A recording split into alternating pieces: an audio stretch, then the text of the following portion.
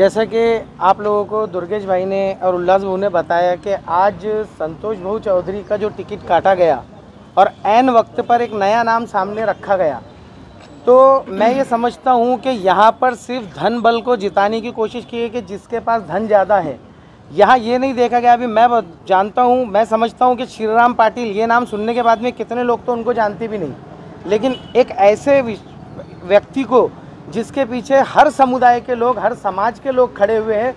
संतोष भाऊ चौधरी एक ऐसा नाम कि जिन्होंने गरीब अमीर का कभी फ़र्क नहीं किया, कभी हिंदू मुसलमान का फ़र्क नहीं किया, कभी जाति भेद नहीं किया।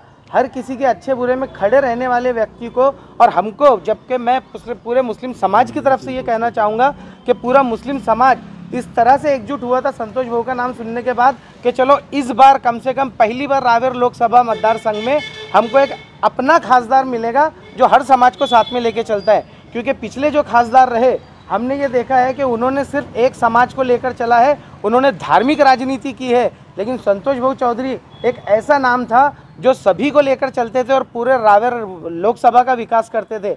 लेकिन यहाँ पर एक तरह से मैं समझूँगा कि संतोष भाऊ के साथ में ये अन्याय किया गया कि संतोष भाऊ को सिर्फ़ और सिर्फ़ पैसे की बिना पर बोलिए या किसी जाति के आधार पर जो है तो मतलब उनको डावलने की कोशिश की गई है।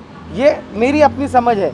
जितना मैं राजनीतिक समझ रखता हूँ तो संतोष भाऊ को सिर्फ़ इसलिए कि उनके पीछे कोई एक पर्टिकुलर समाज का नाम नहीं जुड़ा हुआ है। लेकिन इन लोगों ने ये भूल गए कि संतोष चौधरी एक ऐसा नाम है कि जिसके पीछे हर समाज का जो है तो बंडल जुड़ा हुआ है, हर समाज का नाम जुड़ा हुआ है, हर समाज के वोट जुड़े हुए हैं। और हर समाज, आज अगर आप देखेंगे तो एक बहुत बड़ी नाराज़गी खास तौर से मुस्लिम समाज के अंदर है कि हमारे को एक अच्छा खासदार जो मिलने वाला था वो खासदार से हमको वंचित किया जा रहा है। तो बतौर एक मुस्लिम नेता होने के, सामाजिक कार्यकर्ता होने के नाते मैं यही बोलूँगा कि शरद पवार साहब ने इस पर जो है तो विचार करना चाहिए कि आज जो पदाधिकारी राजीनामे दे रहे हैं, अगर आप संतोष चौधरी का नाम लेंगे, संतोष भाऊ चौधरी को टिकट मिलेगा तो आपके पास लोग राजीनामे तो नहीं देंगे, बल्कि नए पदाधिकारी और नए अच्छे कार्यकर्ता आपके साथ ज़रूर जुड़ेंगे। ये मैं इस बात की गारंटी देता हूँ। और अगर संतोष भाऊ अपक्ष भी खड़े रहेंगे तो इंशाल्लाह पूरा मुस्लिम समाज और पूरा भुसावल की और पूरा रावेर लोकसभा की जनता जो है तो संतोष भाऊ को अपक्ष चुनकर लाने की भी ताकत रखती है। संतोष भाऊ तुम आगे बढ़ो। विरोधक आहे ते टीका करणारच आहेत. शेवटी विरोधकाचं कामच टीका करणं आहे पण शेवटी या ठिकाणी जे सर्वसामान्यांचं जे म्हणणं आहे त्या लोकांची प्रामाणिक इच्छा आहे की संतोष भाऊ हे रिंगणात उतरलेच पाहिजेत.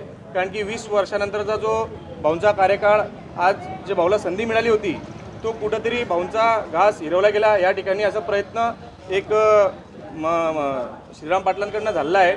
श्रीराम पाटील हे आमचे वैरी नाही आहे पण मग शेवटी ते पक्षात नव्हते. वीस वर्षापासून संतोष भाऊ झालेत रवींद्र भैया झालेत जिल्हाध्यक्ष हे पक्ष एक निष्ठ राहून पक्ष सेवा करतायत पक्ष वाढवण्यामध्ये ते लोक योगदान करतायत.